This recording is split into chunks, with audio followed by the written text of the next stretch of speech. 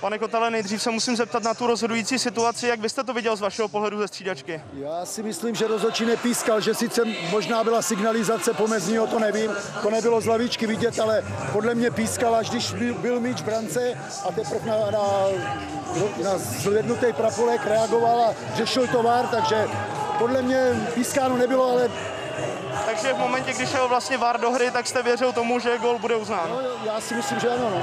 Akorát jsme viděli, že má praporek pak nahoře, ale vyřešil to VAR, takže já Když se zeptám na průběh zápasu, tak vlastně v prvním poločase to vypadalo zase, že mezi 30. a 45. minutou Spartě chyběla efektivita, protože jste tam měli hodně těch situací, vy o tom často mluvíte, souhlasíte s tím? Já si myslím, že nám chyběla i druhý poločas, že jsme hráli prakticky na jednu branku. Bohužel prostě ten, to finále nám, nám nevyšlo, ale Bohemka musím přiznat, že Bohemka velmi zodpovědně dobře bránila, takže ono je to o obou mužstvech, ale myslím si, že Bohemka prakticky za celý zápas neměla žádnou vyloženou golovou šanci, takže z tohohle pohledu jsem spokojený za nulu vzadu a nakonec eh, samozřejmě za vítězství, když to bylo samozřejmě nešťastný pro Bohemku v závěru, ale, ale tak to je a se k tomu nechci vyjadřovat, že to je věc rozhodčí.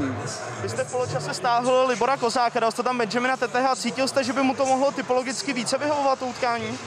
No tak eh, je to, my to máme hlavně z hlediska šetření, protože eh, Libor dal v minulém zápase dva góly, ještě na něj byla penalta. Na Bohemce jsem vě- věřil, že Tetech tím, že přišel z Bohemky, že bude mít větší motivaci. Nakonec to, to dobře dopadlo, dal gól, takže musíme být spokojení. Děkuji vám za hodnocení. Taky děkuju.